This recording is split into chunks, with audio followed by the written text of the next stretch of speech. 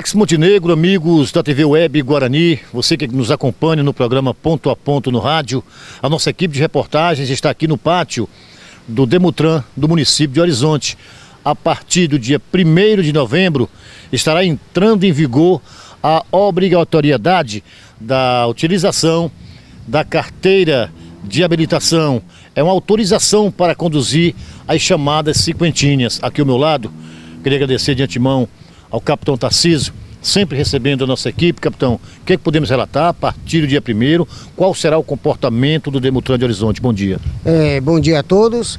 É, quero salientar que a partir do dia 1 de novembro é, já está vigorando a lei 50, da cinquentinha, certo? O condutor que estiver conduzindo a mesma cinquentinha, é, sem habilitação, ela será recolhida para o Departamento de Trânsito aqui de Horizonte.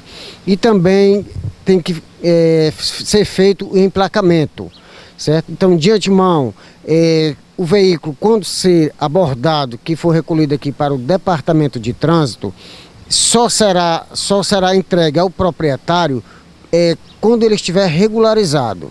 Quero adiantar também a todos que a multa é de 880 reais.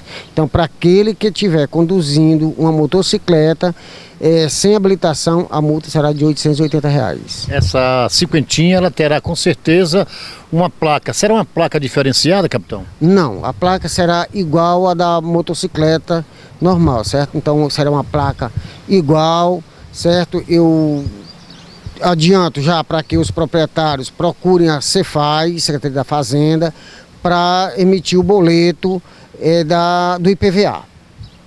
A questão dessa autorização, podemos considerar uma carteira ou é uma autorização para conduzir ciclomotores?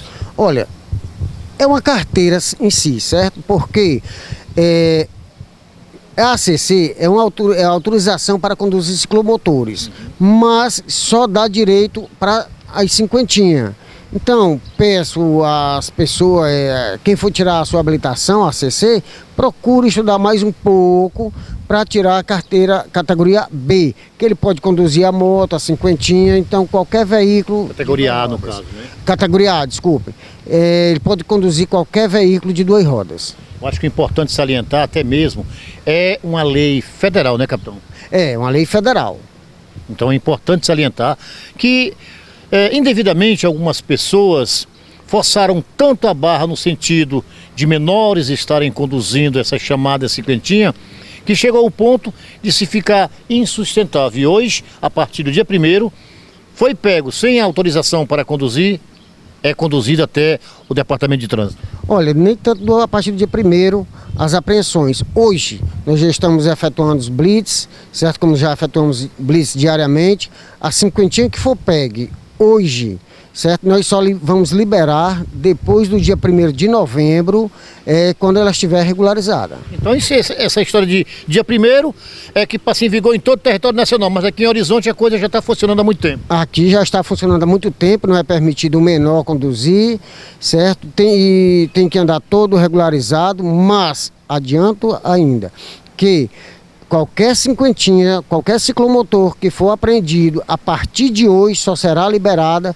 depois do dia 1 de novembro, é, quando ela estiver toda regularizada. E que é, o proprietário é, da cinquentinha que for apreendido, ele pagará ainda o reboque, é, que tem um valor já estipulado, e também as diárias, que também já tem seus valores. Capitão, confirmada a sua presença e do secretário de Segurança eh, Jaime Ribeiro amanhã no programa Ponto a Ponto da TV Web Guarani? Com certeza, eu vou repassar para o nosso secretário, o senhor Jaime Ribeiro, que é o secretário de Segurança, e pode contar com a nossa presença amanhã a partir das 18 horas. Obrigado ao capitão Tarciso, chefe do Departamento de Trânsito aqui do município de Horizonte, com imagens de Michael Douglas, Chico Neto para o programa Ponto a Ponto na TV.